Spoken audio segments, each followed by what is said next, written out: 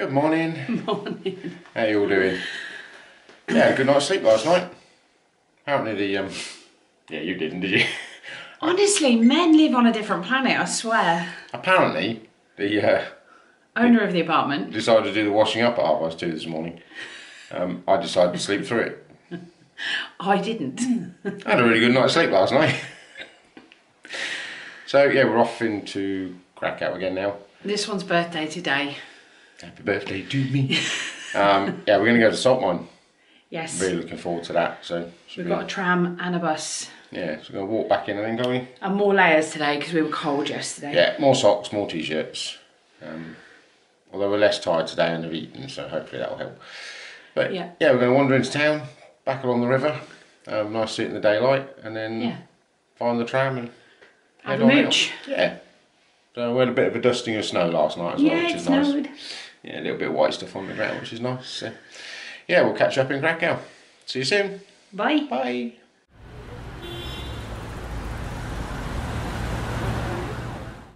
Okay, so we're on the way to the train station to get a tram, and we picked up this. It's called an Obwarzanek. Very sorry if I'm totally Butchered that. butchered that. Um, they've been making it since the 14th century. Apparently, it's traditional, well, traditional Krakow breakfast, and it's basically a bagel, um, but they part boil the dough before they cook it, so you get this crispy outside and a soft inside. So uh, they are vegan if you have the sesame or the salt ones. Um, Not the cheese ones, not the obviously. cheese ones or ones with other sorts of toppings on. They have lots of toppings on, including some strange ones. um, so yeah, good to go. Oh, sorry about the van. Oh, taste test. Is that good? Yeah. Looks good. You didn't pull a horrible face, anyway. No, it's um, What's it taste like? it's a bit of sesame sourdough. Oh, okay. It's cold, obviously. Yeah, it's cold. Okay, nice. And we bought one a spare just in case he starves to death later. Happens a lot. Mm, So yeah, we're going to chew this as we walk. Okay. So we just came across this, which we're assuming is the old entrance to the city. We're not 100% sure, are we? No. It's a huge, huge wallet. And then here, there's like a extra piece. And It says defence route. This is the Barbican. Yeah. And then we've got the city defence walls, according to that map over there, which is this bit, with a little gap in, where there probably would have been men with boiling hot tar and arrows. Hmm. It's lovely that, to see the old and the new, because right behind, I don't know if you can see, there are a load of houses. So it's it's gorgeous to see the old and the new mixing together beautifully. There's some massive, impressive buildings. Hello. Still cold. A bit warmer now. We've had a march through Krakow. There. yeah. Um, a little bit interesting trying to get to the salt mine. We thought you could take a tram. yeah. But you can't. You can't. So we went to the tourist information. She told us which bus to get. Um, but we'd, we had a bit of a struggle to find the bus stop, to be honest. So for anyone else that's coming, if you um, if you find the big shopping centre, The Galleria Krakowski. Yeah, it's massive, opposite train station, and then head for the other end opposite train station, and there's a brick tower with a clock in it, and opposite that tower is a little road with the bus stop And you want the 304, for the number 304. Yeah. and it goes to the salt mine. And Yeah. you need to get off at stop 15, Yeah. and then it's like a two meter, uh, 20 meter walk or something. I'm assuming it's going to be fairly obvious when we get there, but um, yeah, this bus stop is not so obvious. So yeah, And this is the only bus that takes you to the mine. yeah, directly opposite the brick tower with the clock on the shopping centre. Um, They go regularly every 10 minutes. Yeah. So hopefully that'll help some of you. But yeah, just find the train station, the gallery's opposite, walk to the other end of the gallery, and yeah, it's opposite the clock tower. And hopefully you'll um oh, and there's the bus. Okay, so we'll catch you in the mine. Yeah, see you in a bit. Bye. Oh, we just got off the bus.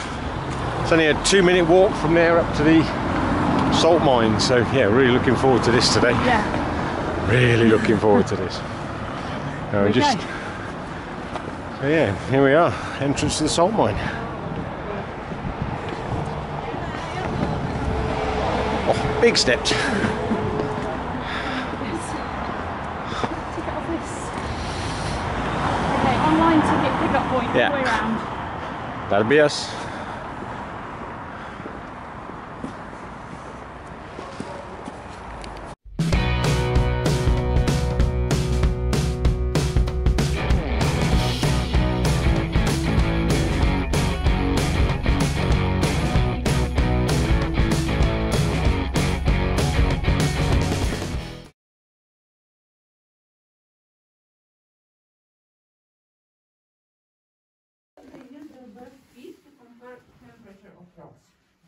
Across uh, in the darkness. So in this way it was it was easier. And uh, this salt just looks very uh, dark, but actually it's uh, full of salty crystals. I can show you with light. And from the uh, 19th century, water moving on the railway, by horses, and then by locomotives. But horses started to work here already in the 16th century. In the beginning, they started to draw some big machines. You'll see what these machines in the next chamber. So in the 18th century, in the mine worked about 60 horses underground. And the last one left the mine in 2002, so not many years ago. Then also see how, uh, how horses live in the mine. This model of stable in the next chapter. Okay, so let's go to the next one. There.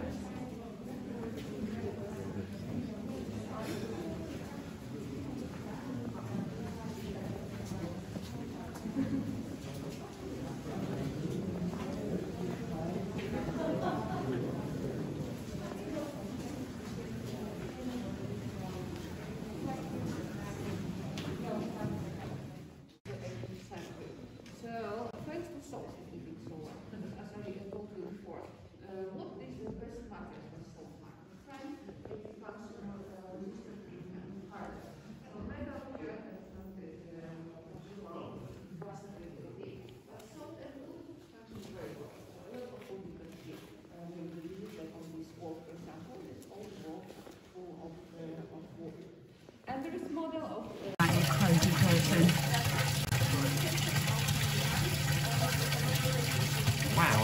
Is it really salty? Oh, it's not solid. We're now in the main chapel. It's absolutely stunning. It's really hard to tell that this was dug out by hand. I mean, the detail in the walls, this is all just dug into the salt. Huge chandeliers. Just beautiful. Absolutely beautiful. You would never believe you're in a salt mine underground.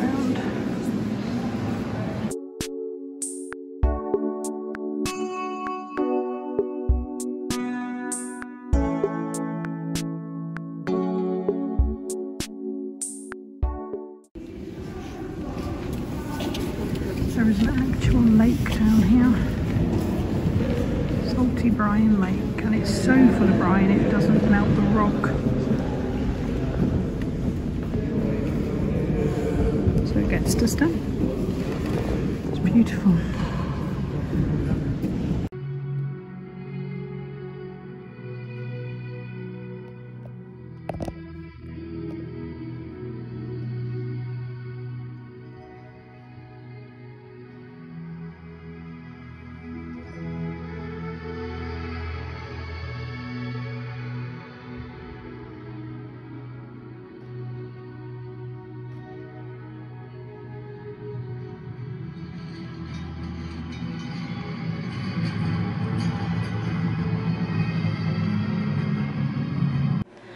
So this is the last chamber on the tour.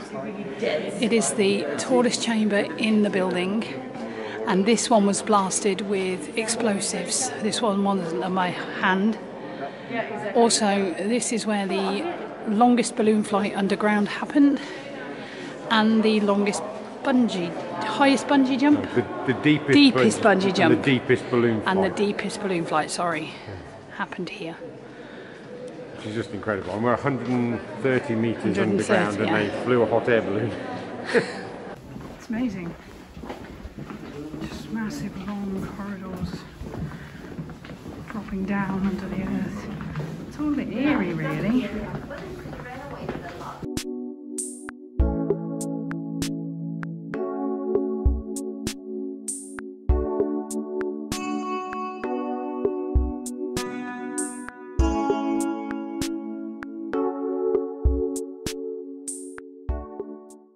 On a bus at the mine and had a little bus ride.